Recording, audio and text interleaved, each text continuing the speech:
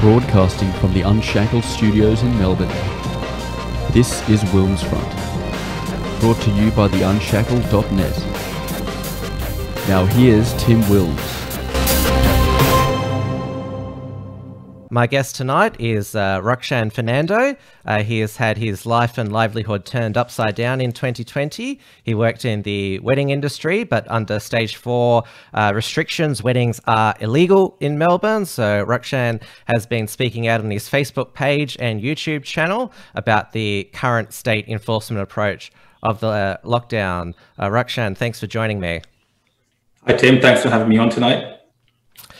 Uh, now, as I said in my introduction, I've noticed a, a flip in the uh, the populace and also the, the media in beginning to, to question both the effectiveness and the the, the, the long term sustainability of the, the, the lockdowns. And you're one of those uh, people as well. So during the, the, the first lockdown in March, which ended in, in May, there was just the uh, uh, weddings could only take place with the uh, the, the the two two people getting married, uh, the celebrant and the the two witnesses. Uh, there was, of course, the the the initial relaxing of restrictions and reopening, but then under stage three, July, July nine, it was back to five, and now they're uh, completely as completely illegal now to, to to to get married. So I'll, I'll just start with obviously uh, the it's, well, it's even more difficult the second time round for everybody to go into lockdown, especially you. But can you describe what it was like uh, when the the first lockdown was was introduced and weddings well, were severely limited? To put it mildly. Yeah, sure. Yeah, definitely. I think the first lockdown, there was a sense that, you know, especially from me as a business owner, that uh, being such, uh, I guess, a novel virus, and we didn't really know what was going on, that you know it was crucial that we did kind of participate in that lockdown to be in a position to come out of it, still uh, to be able to, be able to operate as a business coming out of it. So initially, I was very supportive of those types of measures, um, not particularly because I thought that uh, it was a right thing to do, but I felt like uh, we had no choice um, the government was going to do it anyway. So uh, as a business, it was a responsible thing to do to kind of comply, go along with it, and come up come out of the other side in a position to kind of you know rebuild. Um, and really, at that point, I thought that was really the only lockdown that we were going to go through. You know, I didn't anticipate there would be these uh, rolling lockdowns where it would end up in a situation where going forward after this lockdown, I'm not sure if we're going to be going into another one that's even more extreme or less extreme. It doesn't kind of matter anymore because we've got to such a point that, you know, it's as a business, it's just frustrating because you can't see a way out of it. So first lockdown, I kind of did see that light at the end of the tunnel.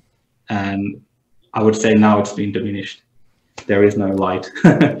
I think a lot of people accepted the the first lockdown because back in late March there was still uh, not a lot we knew about this virus, and we saw the horrific yeah. scenes of mass graves in Italy and New York. And what we were sold about the uh, uh, our politicians sold the first lockdown to us is that we've got to flatten the curve because we were seeing the curve uh, just go up so dramatically that our health system could be overwhelmed. We just didn't know. It was the the unknown, which also fueled the the panic buying, starting with the toilet paper and to yeah. uh, to, to, to, other things, yeah. and because it, it was a virus that was born in, in communist China, uh, that also added to a certain level of uh, uncertainty and and fear uh, as well. But since we did flatten the initial curve, we've seen mission creep to we're told that uh, the official approach is suppression and containing uh, and containing outbreaks when they occur. But it seems that well we didn't really have a first wave. We basically eliminated the the virus. And uh, th- this is the thing that uh, uh, particularly uh, Andrews has uh, uh, been, qu- I would say, quite despicable at is blaming Victorians for being complacent, where as it's been exposed, it was here's a government uh, that dropped the ball on hotel quarantine and, and contact tracing. Uh, they've been proven to in in both of those. It's just been it, it, it's just been one round of catch up after after another, and it's like you're the the ones who said trust us to contain this virus when the curve was flat. What were you doing for? two months before we had this outbreak again, which is now well, it's stabilized now, but has been pretty out of control. Yeah, sure. I mean, on, on the flattening, flattening the curve, that messaging was very intense initially. And the way I interpreted it and the way that a lot of my friends and family and other business people that I know interpreted it was to get to a situation where our hospital system um, could cope with um, what the situation was going to be where if the virus took hold in, in, in Victoria. Now, it's since moved on from flattening the curve to we need to have zero cases for it to be like uh, a viable situation for us to go back to normal, which is not kind of the social contract that we signed up for at the at the, at the onset of this because. Uh, you know, were the hospitals prepared in, prepared during the initial lockdown? Were they in a position to kind of handle what's happening now, or is this lockdown that we're in now them still preparing? You know, what was the point of flattening the curve if the result of that was that when the cases actually came about, we'd have to go into a more extreme lockdown. And I think there's been a lot of people that have this same feeling, and that question hasn't really been put to the government in that way. Like, what was the point of the initial flatten the curve uh, message if that resulted in a more extreme lockdown?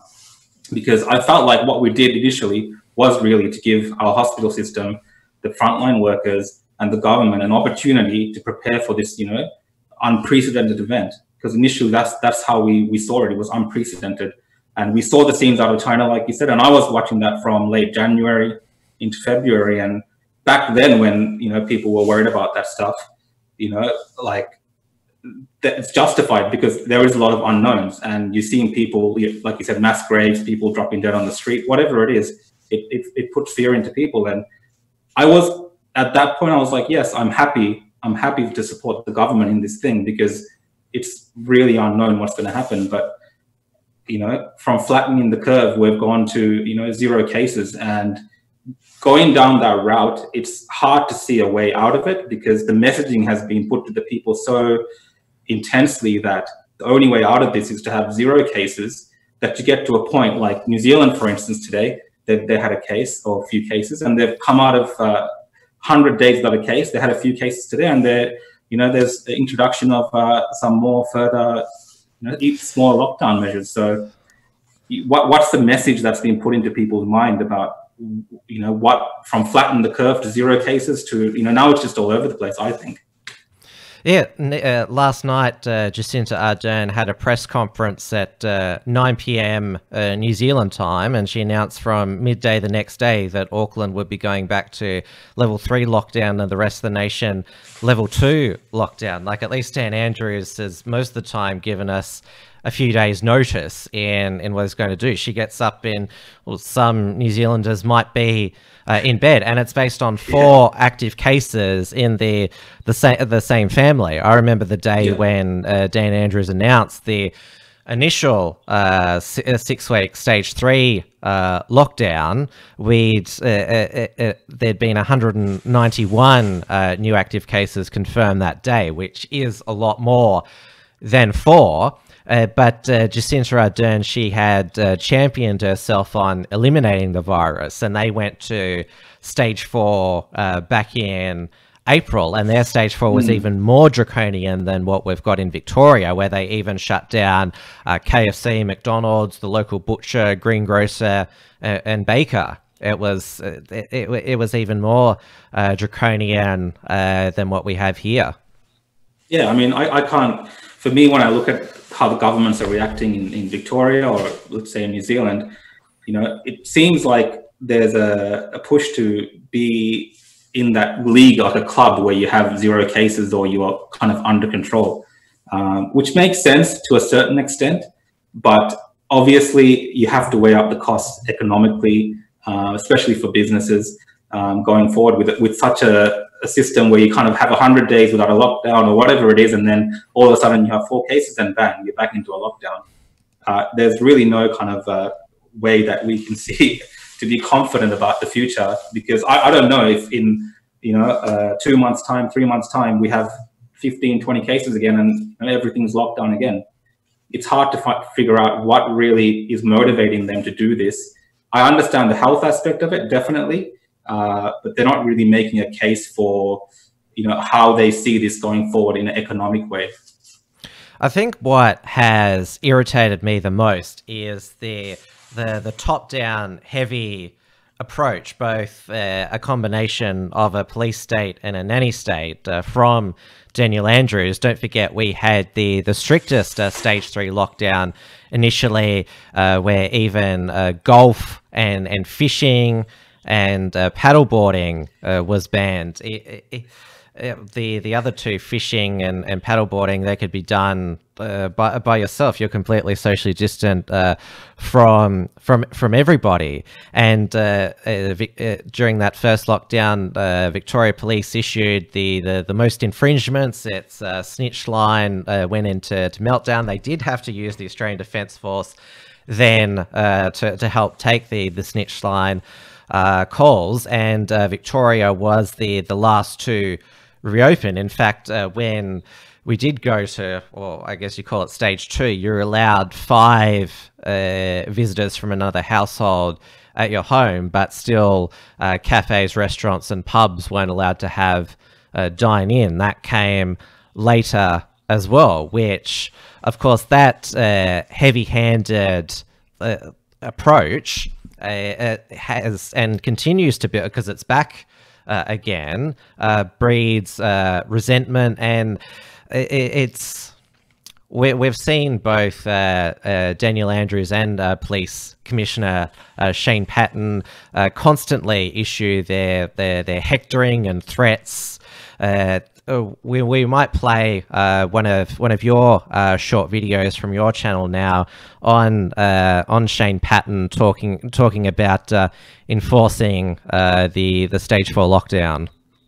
But people have to absolutely understand there are consequences for your actions, and if you're not doing the right thing, we will not hesitate.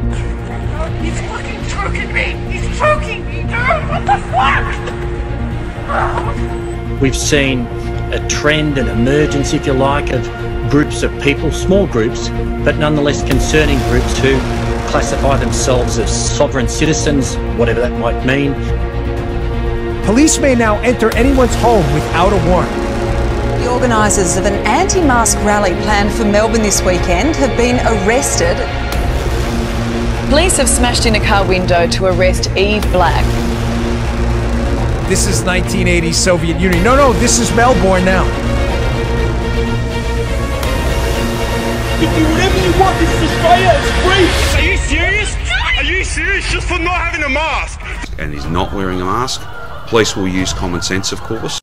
Uh, no, that was some uh, superb uh, editing and uh, overlays there uh, by, uh, by by yourself, and we'll just break down that uh, uh, uh, the the footage in that uh, video montage. The the woman who was uh, thrown to the ground and arrested for, for not wearing a mask. That was in. Uh, that was I think it was on Tuesday, or might have been Monday, in Wellington Street in in Collingwood. She apparently had a, a medical certificate but apparently, because she refused to show ID, that's why she was arrested. Uh, there have been other uh, non uh, non mask and lockdown compliers who've been arrested, but never with that with that type of uh, physical force, and it's now being investigated that arrest uh, by police professional standards. Yeah, I think I think there's definitely a, a problem here in in what it looks like visually um, especially with the hands around around the neck. Um, now there's a bit of uh, talk back and forth whether he or she was being choked because she can she could speak and yell, but of any of that, the enforcement is very seems very draconian and strict, especially considering if it was for not wearing a mask, as it's been stated, you know, to, to grab a woman like that, to throw her on the ground. Um, I'm sure there's many other ways of restraining someone, and there was multiple officers there as well um, that could have um, restrained her in a, in, a, in a, much different way. Uh, whether she had to be restrained in the first place, and uh, is is also an important question to ask because she did have that exemption, and you know how that escalated to that point. You know, pe- people are on edge, like the community is on edge. People, everyone is feeling uh, a lot more on uh, you know, on, on edge these days with these these kind of things going on. So they, they are arcing up in the community sometimes, and the police have to be professional and deal deal with it in a manner that doesn't cause these kind of scenes and scenarios to occur. Um, but obviously, there, has been some sort of uh, I don't know if it's lack of training or what it is, but that the approach to that particular arrest is quite concerning for me as a citizen watching that you know, I don't want to be on the street walking down without a mask and I say the wrong thing and next minute the police is just slamming me on the ground because, you know, as as uh, as compliant as you may be, you may say the wrong thing and we don't know exactly what would trigger the police to behave in that way because I feel like they've been given that power that given that incentive, not incentive, but given that kind of uh, mandate almost to behave in that way over something like a mask. Um, you know, it's quite crazy to think that there's so many other crimes that occur in Victoria during a normal, normal, normal time of the year that the police aren't that heavy-handed, and for something like this, they're they're going in, you know, really hard. The, you included in that montage uh, the the news reports of uh, Eve Black's uh, arrest, to her uh, uh, getting through the the, the checkpoint uh, into to regional Victoria, her video of that went viral, and there was a, a lot of online hate directed at her. Uh, that was uh, would have been a couple of weeks ago uh, now, but uh, they eventually encountered her again, the Victoria Police in, in, in Carlton, and she refused to give their, their details, so they smashed her, her car car window so they could arrest her. And what wasn't included in that uh, montage is that Shane Patton he bragged that uh, that's what that's what they were doing to uh, arrest uh, these so-called sovereign citizens, and that's that's certainly not something like it may need to be necessary, but to brag about it uh, that. Mm. That, that that sends another uh, chilling chilling effect that because of course, that uh, that arrest footage might have been taken taken out of context, but the ordinary person sees that and thinks, "Yikes, that is way over the top," and they think the same about a car window getting smashed in. Yeah, I mean, it's it's policing through fear. Um, I think they've kind of lost control of. Uh, they've lost. Uh, it's hard to like. It's the, it's almost like they've lost uh, the respect of the people, so they're trying to police through fear because there's only so so long that people can go on listening to like uh, you know information or um, directives from the government which are contradictory. So the only way that they can enforce these things is by fear, because people are beginning to question these things, and people are uh, feeling like they are being uh, put in a position where they should, you know, assert their rights um, or you know challenge the police sometimes because the, the laws which are being put in place or the directives which are being put in, put in place are directly impacting freedoms that we think we know that we should have, but you know they're being taken away from us right in front of us, and we have no control over how, that's being uh, enforced. Uh, the so-called uh, freedom uh, rally that was planned uh, outside Parliament uh, uh, last Sunday, the the organisers of that were arrested in advance, which is a form of pre-crime, basically. And then yeah. on the day, uh, they, they made about seven uh, arrests, uh, handed out uh, countless fines, uh, and they, they ID checked everybody in the, the CBD to check that they were out for uh, a lawful reason. Otherwise, they'd get, even if they had nothing to do with the protest, they'd get a, a 1652 do- dollar fine. Uh, the, the the fine for not wearing a a, a, a mask without a, a lawful or lawful uh, excuse is two hundred dollars, and we've had the fines increased for for breaching uh, isolation orders to uh, four thousand nine hundred fifty seven uh, dollars, and with all these threats that uh, Andrews and Patton were uh, were communicating to healthy Victorians, it's been revealed with their shortcomings in contact tracing, where they they had to start door knocking people, uh, uh, that uh, they were completely incapable uh, of of making sure that actually people with the virus uh, were, were, were self isolating, and said to me, "Hang on, you you." You're threatening to, to, to, to fine us if we travel too far for groceries or exercise and that, but you're not actually making sure that people who have the virus are not spreading it. Isn't the most important thing?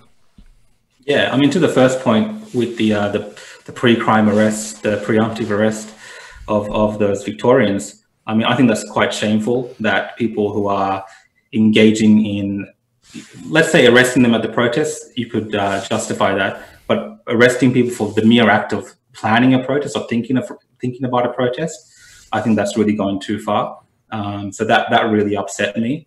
Um, but back to the government again, you know, where's the repercussions for them? Where's the fines for them? Uh, we get fined for everything. We can't. we could, you know, we can hardly go, go out of our front door at a certain time. We can't go out after eight o'clock. You know, we get fined. But with all the mistakes they're making and all the shortcomings of their contact tracing, all these systems that they have in place, when they're making these mistakes, there's no repercussions. So the community is always being, you know, told off. Uh, we're always being scolded for the things that we're doing. And it's very easy for Daniel Andrews and Shane Patton to get up there and, you know, tell off ordinary Victorians for the mistakes that we're making or, you know, the for us protesting, whatever it is. It's easy for them to go, get up there and do that. But in return, you know, there should be some accountability. So with the contact tracing, uh, you know, why haven't they put in the systems in place to make sure people are at home? Why aren't they calling them every second or whatever it is? If that is so crucial, if that is so vital, if that is so important, why are they not ensuring that people are at home? And you know, it's easy to find people walking on the street, but they're having a harder time keeping people in the house. So, and these are things that are under their control. It's not something that I can do. I can't go outside and monitor people in their houses. Uh, it's that's really the the job job of the government, and they're not doing those things effectively enough. Uh, whereas you know we we go outside and we do something wrong, we get fined, and there's no repercussions for them. So I really think there is a lot of serious uh, questions there that need to be you know uh, answered. Oh well, the the, the Citizens uh, Enforcement Brigade. Uh, that's what we refer to uh, as Karens. Who I've there, there, are actually two types of Karens. There's the the anti-mask Karens, and then there's the the pro-mask uh, Karens as well. They're they're they're basically yeah. the the the citizens patrol that you're referring to. Yeah, I mean we've kind of done this thing where you know it's we've made this general population into a police force against each other. Like people are literally out there just policing each other and there is there is really a lack of uh, you know understanding and empathy for certain people as well. So if you see someone without a mask, the first reaction that many people have is like, oh, they must be they're doing something wrong. That they're, gonna you know put our health in danger, and they could have a very valid reason for not having a mask. You know, people are overreacting, um, and a lot of that is being driven by the language of the government. You know, Daniel Andrews is up there, uh, you know, talking about Karen or someone from Brighton, whatever it is uh, and I, I, think he should not be engaging with that kind of thing. Um, he's got other issues that he should cover, and you know we shouldn't have be encouraging people to police each other. I think that's not on. Uh, Karen from Brighton was not really a, a, a, Karen. She was no, she wasn't. Yeah, no. yeah. She she just said that uh, she, was... she, was... walking the tan because uh, uh she'd done uh, yeah all of Brighton, which yeah I, mean, that wasn't a big big issue or big deal at all. And she has actually started her, her own Instagram uh, account where she's actually quite Yeah. uh, witty with uh, some of the things that she comes up with. Uh, uh, she, she bought a, a, a few cases from uh, Dan Murphy's and said, These are the only cases I, wa- I want from Dan. That's a good one. it's been very slow to get answers from Andrews, and there's still a long way to go in the accountability and scrutiny process. I, I know that the, the, the cult of Dan, uh, as they uh, as they've become known on Twitter, who just think that he can do no wrong, say, "Oh, he answers uh, uh, uh, que- uh, questions every day at his press conference. Uh, they uh, uh, they go for a, an hour and a half, but does he answer them?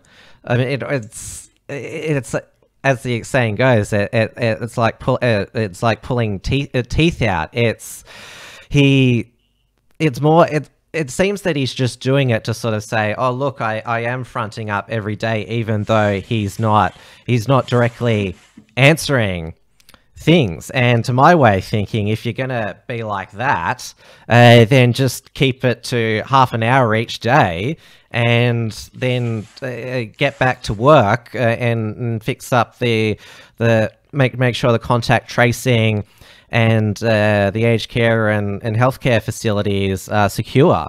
Uh, because if you're a public leader, then what's the point in obfuscating for an hour every day? Yeah, I mean the the press conferences, it's become almost meaningless because a lot of us want answers in the sense that uh, you know there needs to be some sort of accountability. So I know Daniel Andrews thinks he's being accountable by saying that he's passed it off onto an inquiry or saying that he's out here working for us, but that's really not what we're after. You know, for me personally, uh, if if even if there was an admission or an apology or some sort of very clear answer in terms of, you know, we, we knew this, uh, this is why we didn't do it, or this is why we did it.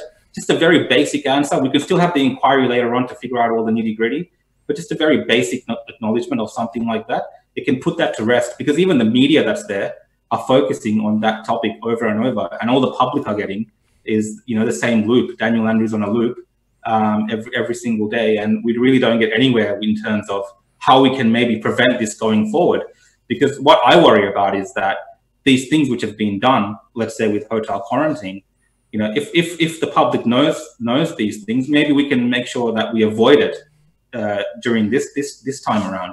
So the fact that he's not answering and that, that he's shifted off into a hotel, um, the inquiry, it's just kind of created this mess. Um, which you know, it's really frustrating to watch every day. I watch I watch all the press conferences and it's quite frustrating to watch. Yeah. I'm at a point. I'm at a point where it's like it's pointless because it's just going in a circle.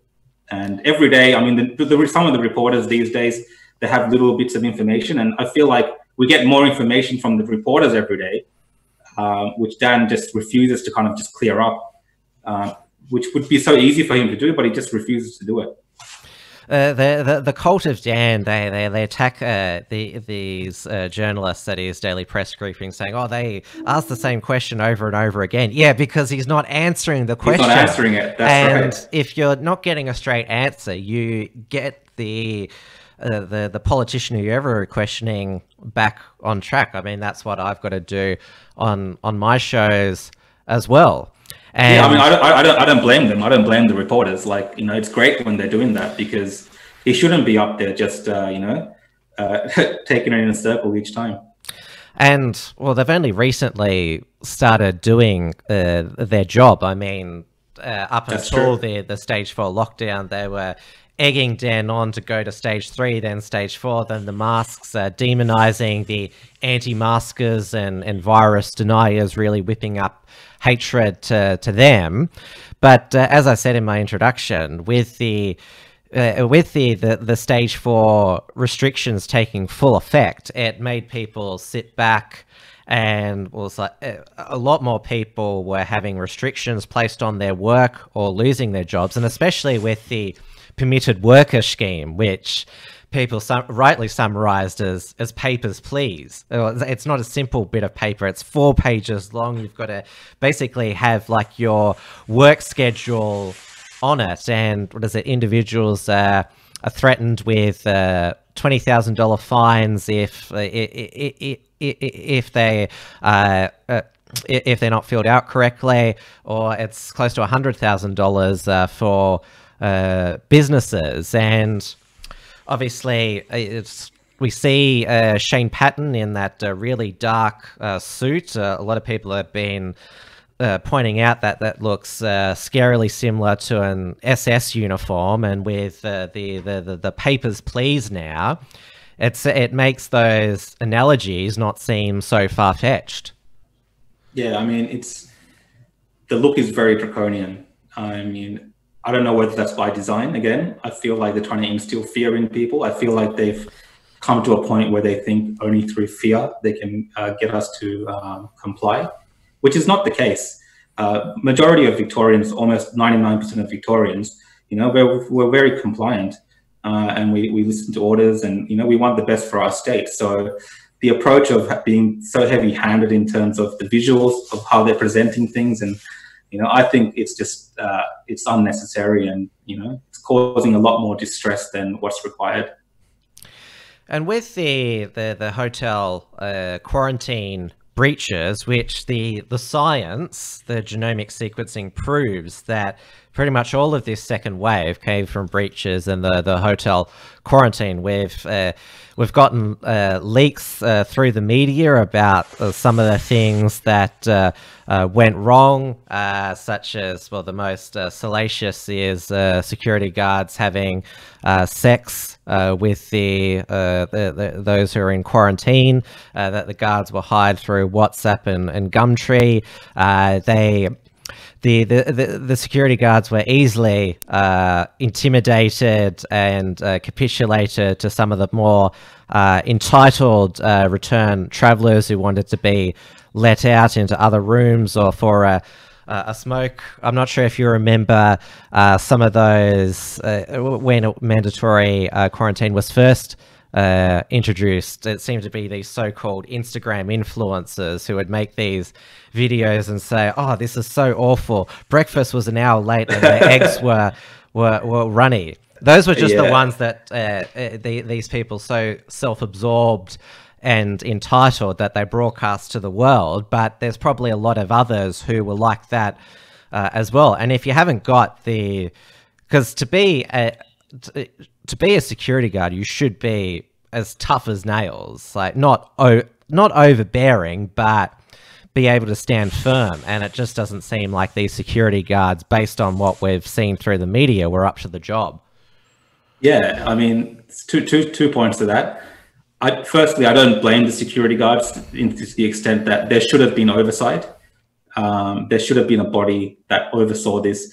You can't just expect people who have never dealt with this kind of thing to understand the ramifications, you know, of this kind of thing getting out of control. So a lot of these security guards, you know, they might have just taken it very lightly. And uh, as, a, as a Victorian, I can't blame them uh, as much as I blame the government because they really had the job of oversight and making sure that these people that were put there to stop these guests mingling or um, you know, doing these types of activities, that they actually did their job. But obviously, that oversight wasn't provided. If people are being hired via WhatsApp by, you know, a subcontractors randomly and they just show up and there's no, um, you know, mask provided to them or whatever it is, you know, that's a real problem that goes more deeper than the security guard himself.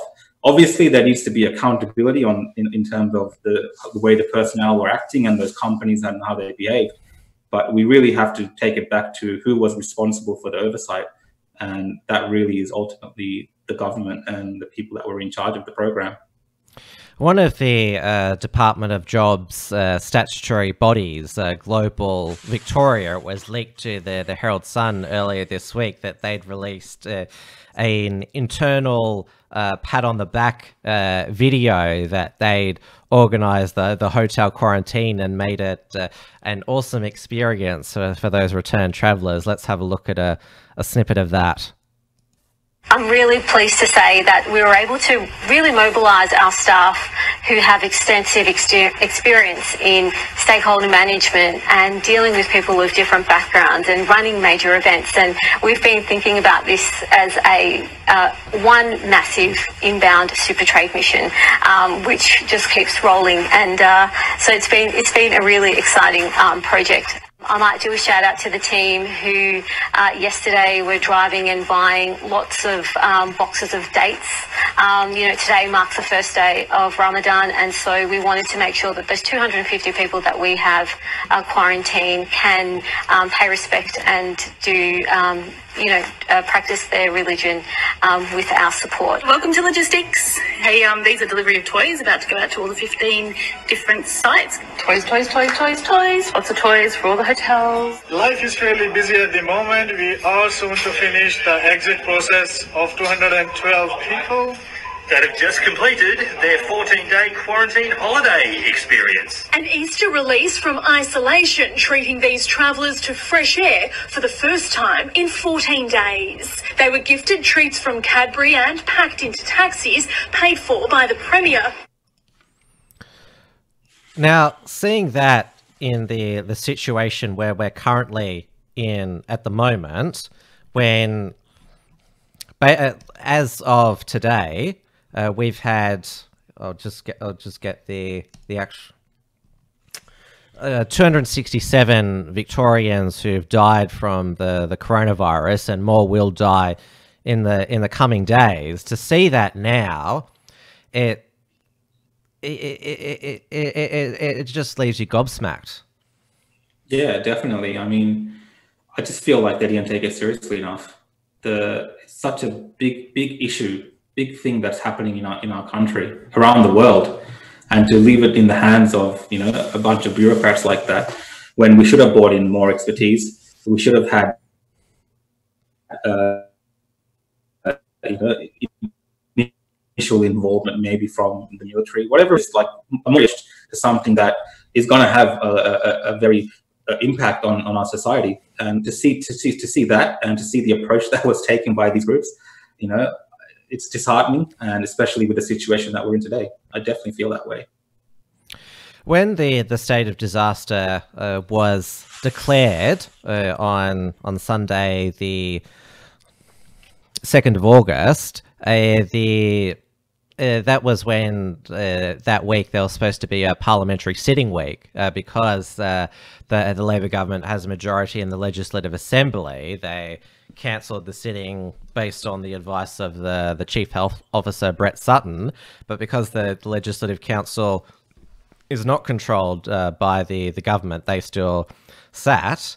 And uh, that's also the, the house where Jenny Mikakos uh, sits. Uh, she is a member for the, the Northern Metropolitan region. And for every question she was asked, she just said, I'll get back to you with a, a written statement, which I've watched a lot of question times uh, in yeah, it, it, during my uh, lifetime and uh, following politics, I've never seen something like that before. The only time when a minister will will will give an answer like that if they it's a really specific detail and they do need to get clarification from their department on that. For her to get up and say that for everything when she knows that this has been a an area of concern where questions need to be answered, for her to go into that question time with nothing, that's basically like turning up to a presentation or handing in an essay with a blank sheet of paper. Yeah, I mean, what, what's the point of having these people in leadership positions? What's the point of her being in that having that portfolio if during uh, the crunch time like this she can't front up and she can't answer those questions? Like, what is really the point of having these people in leadership? You know, what is the point of our government? Like, as citizens, as a, as a mem member of the Victorian community, I expect answers. And just to see politicians up there just saying, "Oh, I can't answer that. I can't answer that. I'll get back to you later." You know, what, what, what, where is the forum? Like, at what point will, will they communicate with us? You know, one year from now, when everything is, you know, hopefully back to normal, then giving us a report or some answers then doesn't cut it, especially during a time like this. We have sacrificed so much. We put we've put ourselves in such a uh, situation where you know we've stopped our normal lives for this thing, this pandemic, and then to have politicians up there saying that they can't answer questions, that they can't tell us what's going on, that they can't tell us why they're making these decisions for us, it's not, it's just not on. So you know, when I see that kind of thing, it's it's just very disappointing, and it just the whole system looks uh, you know corrupt, for lack of a better word. We did see uh, Jenny Mikakos uh, late Saturday night uh, a, a, publish a, a Twitter thread, which was uh, when a politician tweets late on a Saturday night uh, that uh, you, you question their mindset at the at, at that time. And there was a lot of incoherent self-pity there where she said if my efforts weren't enough uh, i'm sorry and then said stuff like the the truth will come out in the inquiry. The the the, the truth uh, uh, will set you free. She she referenced uh, uh, the because oh, she's greek herself the, the the greek origins of uh, democracy. We know that a lot of the, the, the Greek aged care facilities in uh, northern Melbourne have uh, uh, been hit with a number of uh, uh, deaths during the, the aged care outbreak. It, that was an even worse look to just do do do do those uh, tweets after after that uh, performance, and then uh, when she eventually fronted up to a press conference on Monday, just said the tweets uh, speak for themselves. Are not going to be a, a commentator on myself. Yeah, I mean, look, I'll be, you know, I'll, I'll be honest. Like, none of these politicians signed up for this pandemic. Like, it's put everyone off, caught everyone off guard. But having said that, you know, this is what we expect from them, leadership. So if she can go home that night and, you know, rattle off a few tweets to explain herself and say the truth will uh, set her free or whatever she said, you know, speak the truth when you have the opportunity. Speak the truth to the people. Speak to us. We want to know. We want to know what the truth is. And the more that they deny us that, the more that we're going to feel let down by them. And that's that's the pressure that she's feeling. The pressure that she's feeling is the fact that she knows that either you know they're there's some uh, information there that they haven't made privy, uh, we're not privy to because of uh, you know the inquiry. But we should know that information as soon as possible. So I think her just at nighttime tweeting like that doesn't doesn't doesn't do any good for anyone. Well. You, mentioned that uh, this is uh, the judicial inquiry. They, uh, Andrews and Mikakos have have used the the cover of their judicial inquiry to to dodge questions to say uh, that it's not a matter for me.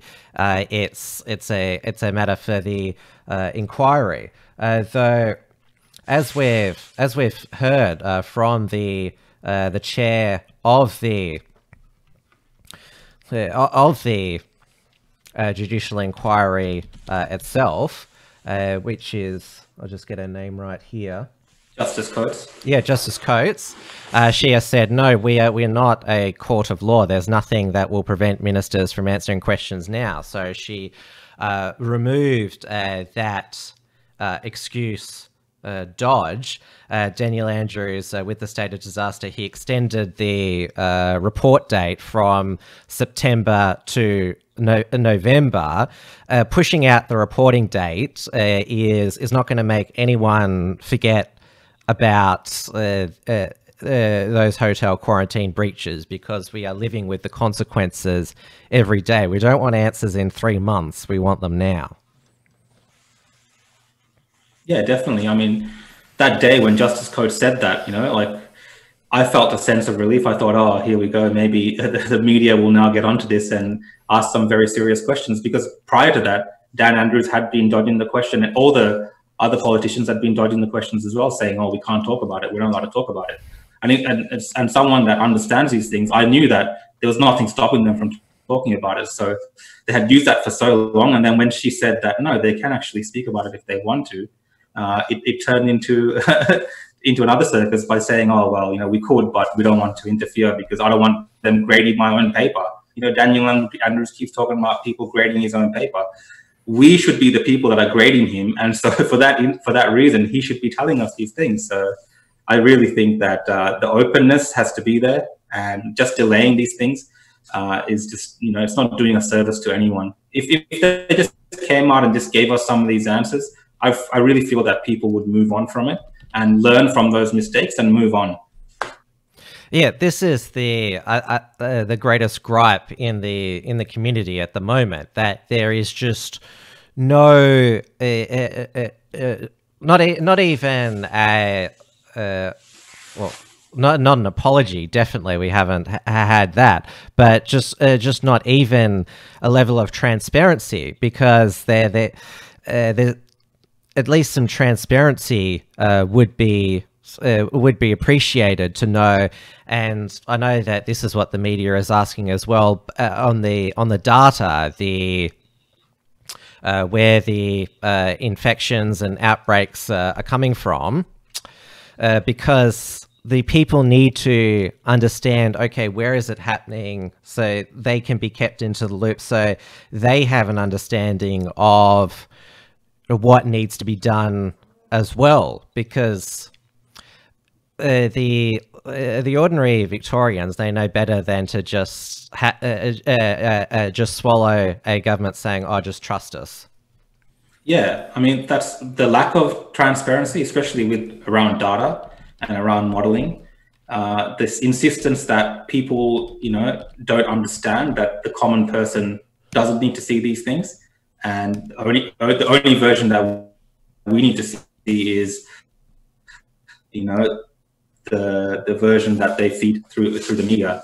I think that that's a mistake because people are a lot smarter than they think. You know, people are people go looking for information elsewhere, and that's why you're having a lot of this confusion because with the lack of data, with the lack of transparency, you're having a lot more people uh, on social media or on, on other parts of the internet uh, reaching out and looking for information. And you have these networks of people just sharing information through WhatsApp or whatever it is, and that's when you have these issues with misinformation. So them not providing the data, um, providing those numbers, providing you know where these things are happening, the postcodes or whatever it is, or demographics or uh, the cultural groups or the building or whatever it is, them not providing that information, uh, especially on at the start of the pandemic, was a was a real issue, and I think that kind of led to it growing more because people really didn't know where it was happening.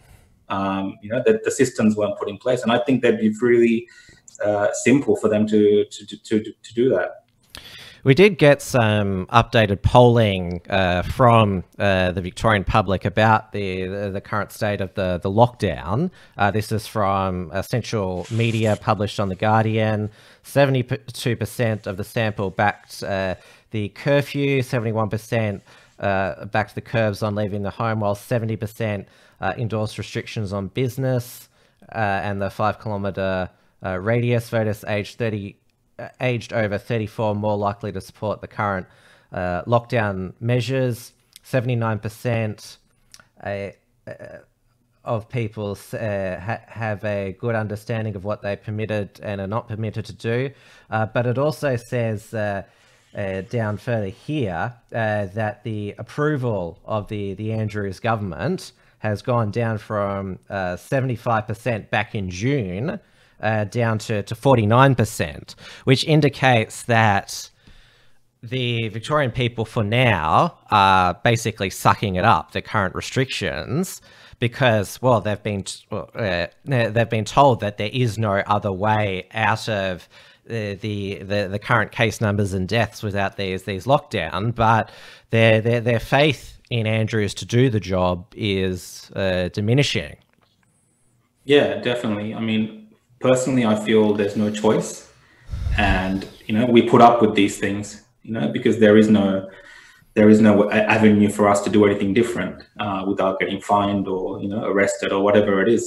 So we put up with it. But internally, you know, going forward, you know, a lot of lot more critical, a lot more people are becoming more critical of, of government. Uh, I'm not just saying Andrew's government, just government in general. People are kind of you know, getting to a point where they've realized that in this type of situation, uh, the leadership is really not there.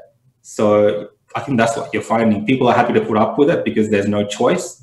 But at the same time, people are waking up to the fact that uh, in these kind of situations, the government is ultimately, you know, can become almost useless if they don't provide uh, adequate you know, transparency that we require. And uh, what really uh, uh, sunk a lot of the, the, the public faith uh, in the Andrews government, and also that restrictions were being applied across the board, was the the basic green light to the the Black Lives Matter rallies in Melbourne in early June, uh, which also led to, to knock on rallies about refugee rights and uh, Extinction Rebellion, or all Daniel Andrews and the police minister Lisa Neville said that oh there are too many people there for us to sufficiently police it. Uh, uh, just don't go. Uh, even uh, they, they, they basically winked and said, "Yeah, we support the cause. We're on your side, but uh, but but don't go." We know that there were uh, six uh, positive cases who attended that rally because contact tracing at that time was so poor. We don't know whether they contracted it there and that, but two uh, uh lived in those public housing towers, uh, which uh, nine nine of which uh, had to uh, go into what a what you call a, a level five lockdown. They weren't allowed to leave their apartments for any reason. It was quite uh, extraordinary that people were prevented from leaving at all. They basically had to have rations provided to them. And it was just the, the, the, three organizers of the Black Lives Matter rallies who were fined. But before that, we saw, well, the, the Mother's Day anti-lockdown protest. The, uh, the speakers were dragged off the stage and arrested. Uh, there was another anti-lockdown uh, rally later in in May. Uh, that was also had a heavy police uh, presence, and the the the, the police uh, barked at the attendees to social distance. And yeah, we're seeing now the uh, the pre-crime arrest now for those who are even thinking uh, about protesting. So that double standard it was crystal clear at that time. Yeah, I mean, I felt it. I felt it as a business business owner. I felt it as just a Victorian because, you know, I had sacrificed so much. I had given up so much, and I had complied and listened. You know, I had done the right things, and you know, I was very respectful of everything the government was telling me to do as a business owner and as a Victorian. But then to see him up there, to see Daniel Andrews and, and the police, the police people up there say, you know, hey, you know, there's nothing we can do. Uh, you know, we can't enforce this, you know, uh, don't go, but, you know, there's nothing we can do. We're not going to fine anyone. We're not going to do anything. And that really just gave a green light for, for those kind of things to go ahead. And within the community, I know this personally because a lot of the people I was talking to, people were just, you know, outraged because they were like, oh, well, if you can have 10,000 people marching down the street of Melbourne, why can't we have, you know, a, a wedding? Why can't I go see my family? Why can't I attend a funeral? Why can't I do these things? And it's just human nature. You know, people feel when they see that visual of 10,000 people marching in the streets of Melbourne and Daniel Andrews saying, oh, I can't do anything about it, it just makes it look like he's not taking it very seriously. And that, that generally, I think, led to a very, uh, you know, very large shift in the community in terms of how they're going to uh, comply going forward. And that's just created a mess where now the police have to go into more you know, extreme measures to make sure people comply because there is that feeling within the community that there is two standards. And, you know, why didn't the Andrews government, the police, go uh, arrest the organizers for the Black Lives Matter protest before they even uh, planned the protest, you know, went, attended the protest? Why couldn't that happen? Because we know now that they're doing these kind of things, you know? So people have a right to be, be outraged by that double standard, definitely. Uh, it was titled a Black Lives Matter rally. I'm not sure if uh, brown lives were included. Did the local Sri Lankan community in, in Melbourne get an invite? Uh, no, not not not, a, not an invite like that. Uh, uh, obviously, uh, there would have been Sri Lankans that attended um, that that believe in these types of things. But yeah, generally, um, we we, we participate in the community in a different way. You've uh, also done your own commentary video on, on Black Lives Matter, where you talk about uh, you were you were born uh, in Sri Lanka, but you spent the majority of your life in uh, Australia, and well, uh, not just through uh, the the Black Lives Matter activists, but a lot of the the left leaning media tells us that Australia is an inherently racist country, which you say in your video that's not your experience. No, definitely it's not my experience. You know, when my parents are immigrating here, when immigrants come here, let's say from Sri Lanka, my parents aren't coming here because you know it's a it's a racist country. Uh, we come here because we see you know opportunity and we see a country where we can we can progress and be a part of the community. You know, the the type of racism that's being discussed in the media. You know, this culture of uh, you know everyone's a victim. You know, I should be a victim. No, I don't feel like that at all this country's given me so many opportunities and it's given so many of my other fellow countrymen who are here from Sri Lanka or from South Asia so many opportunities. And, uh, you know, we don't approach these things from uh, the angle of racism. Um, you know, we don't feel it the way that the media is telling us that we should feel that, feel that, uh, you know, the victim, that we should be a victim. We don't feel like that at all. So, you know, that's, that's kind of what I was discussing in, in the video that I did that, you know, we're here uh, by our, our own uh, free will in Australia. Uh, and we're not here because it's a racist country. Uh, we're here because we know that there's a great opportunity for us uh, to contribute to the society and also get ahead in life ourselves. And you had a good uh, livelihood until, well, the, the government forced its end. Yeah, definitely. I mean, I'm, I'm someone that's always worked for myself. I've always worked hard. And, you know, I don't believe in, you know, even now, like it's hard for someone like me who's worked his whole life to, you know, turn to the government for help. Uh, I, am only even if I'm doing that, it's only because I have no other choice. They've literally destroyed businesses, uh, and I'm not blaming them in the sense that you know they did it on purpose. I understand how why all this has occurred, but uh, you know it's important that that there's a respect for people who are in business, uh, who are you know people who, who work hard and that want to work, that we're giving that given that opportunity in in, in a way that you know it's not taken away from us over and over each time that the government wants to save face. Yeah, because we're in this position now. Is is this going to be the the lockdown to end all lockdowns? Yeah, there there there there, there are. Uh, it's been uh, uh, discussed in in some of the media. Uh, other approaches that other jurisdictions have had. Uh, Sweden uh, took the approach of not shutting any anything down, but making sure that uh, the sick, vulnerable, and, and elderly were quarantined. They initially had a high uh, death rate, uh, but that has consistently uh, gone down. The, the goal is to reach what's known as, as herd immunity uh, New York and in Italy, which we referenced, they had uh, those uh, a, a, parade of, of coffins when they were heavily hit back in March because the the virus has, in a sense, run its course, albeit with so much devastation. They are recovering now. New York is opening up, Italy is opening up, and their curve is still flat. And well, we've seen. Uh, New Zealand thought they'd eliminated the virus, but it's back, they don't know how. Western Australia, they look to have eliminated the, the virus, but uh, that's only going to hold up as long as they keep their, their state border open. And we see a bit more sort of confidence that there's going to be a, a, a, from the medical profession and the media that there is going to be a vaccine soon, but we have no idea what it would look like if if it was administered to how many people, whether that would be enough to give governments confidence to lift the lockdowns. Yeah, I think there's definitely a job here for government to manage the community expectations. We can't have a situation where, you know, we're told that the only option is complete elimination because it just looks like that's not going to happen.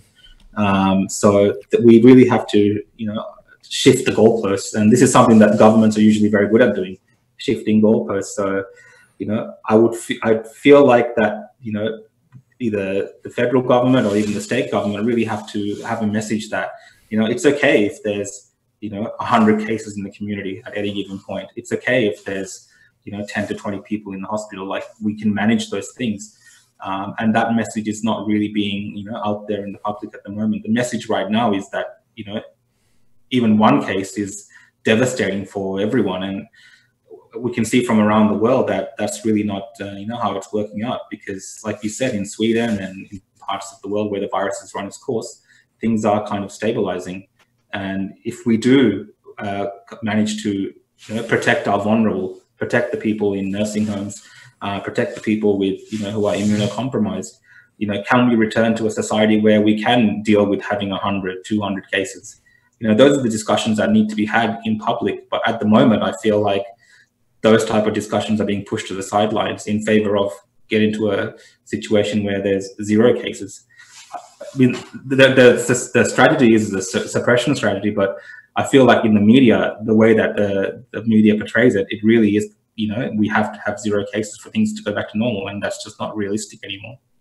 And that's not to diminish the the people who have died from no, cor- coronavirus, but yeah, I mean it's devastating. We we, we shouldn't have this uh, single coronavirus mindset where those are the only deaths we need to prevent and contain because we we are thankfully seeing uh, a bit more attention given to now. There's been some youth suicides uh, due to the lockdown reported, and was that a 33% increase in in young people presenting uh, to hospitals with with self harm, and there's also the uh, uh, family violence and uh, child abuse uh, uh, can increase with these lockdowns as well. There's there's other considerations as well. Other tragedies are going to be exacerbated. Yeah, I mean the death of Victorians every day due to coronavirus is is devastating. It's disheartening. Uh, you know, I, I, have parents that uh, um, have um, pre-existing conditions, and you know they they are vulnerable, and and it's something that I worry about as well. So definitely, you know, the deaths due to coronavirus is is something that we should all be concerned about. Um, but like you said, we shouldn't forget about the the wide ranging impacts of such such a pandemic, which is you know the, the cost on you know on mental health. And you know, I, I can definitely see people um, having mental breakdowns because sometimes, you know, especially being a business owner, you feel uh, hopeless. You know, you feel helpless. Uh, you, you, you don't know where to turn to. Uh, you don't know what's happening next. You know, and this is this is something that so many people are going through at many different levels. So the ongoing cost of this, I think we have yet to comprehend. Um, at least, you know, three, four, five years from now, we'll still be dealing with the consequences of this, you know, pandemic and uh, uh, the consequences that have been caused by our lockdown. Uh, the mental health minister Martin Foley on Sunday announced a uh, a sixty million dollar boost to uh, mental health in Victoria, but this is not a mental health crisis. Is something you can't just throw money at and is going to to, to fix. Uh, I mean, it's the lockdown themselves which uh, are leading to it. Yeah, definitely. I mean, there, there, there is a place for that kind of funding, and there's a place for those services where you can call up and talk to someone, or you can get that kind of assistance that you need, and definitely the value services within the community. Uh, but really, the the, the the thing that had the most kind of uh, impact in terms of helping people is, you know, clear, uh, clear, concise um, pathway out of. And I think the lack of that um, is what's really causing the distress. Uh, there is no light at the end of the tunnel for many people when they look at the situation, and that's really causing, you know, a lot of the a lot of the mental issues, in my in my opinion. Yeah, it's it's going to be an uncertain and, and tough road still. Uh, I've appreciated you, uh, Rukshan, for coming on uh, my show tonight, especially at uh, such short notice. I only asked you uh, this morning, and I would encourage uh, everyone to check out uh, your Facebook page and YouTube channel, Real Rukshan, for your video vlogs and also compilation videos as well. Obviously, uh, with uh, the industry that you're in, you've you've got uh, a lot of uh, spare time, so we know that you've still got a lot of creativity in you. Thanks for having me on, Tim. And you're right, I do have a lot of spare time, and just trying to, you know, keep myself busy as well. And I think it's important that all of us, as citizens of Australia and as, as a part of the community in Victoria, really engages with our leaders and engages with our government uh, in, in, in, which, in whichever way that's uh, possible for each of us to do. Because at the end of the day, I feel like it's up to us, it's up to the people uh, to really kind of be out there uh, voicing our concerns. Um, and, you know, I, I, thank you again, team, for, for giving me this platform today to talk to you. Yeah, you're definitely right in, in that uh, the people, uh, obviously, virtually, need to make their concerns and, and views heard now, now more than ever. Thanks, Tim. Take care. Take care. Thanks for tuning in to WilmsFront. Visit timwilms.com or Rational Rise TV to view the archive of episodes. And keep visiting theunshackled.net to view all our shows. And to keep up with the latest real news and analysis.